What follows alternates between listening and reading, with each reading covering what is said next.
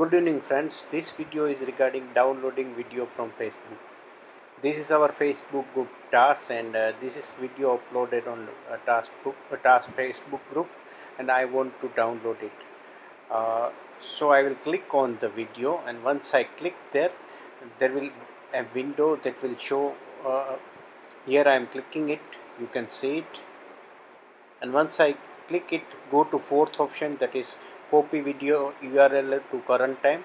Then I will open another window. I will paste there.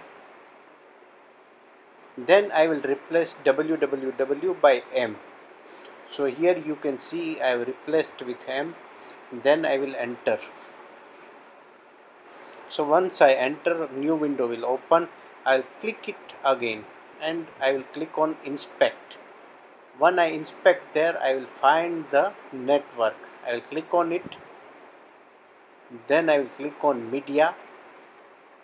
Then I will play the video.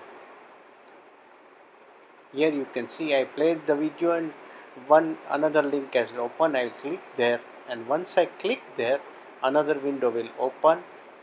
And once I go lowermost part of the video I will find three dots and when I click there I will find download. And once I click there video will start downloading.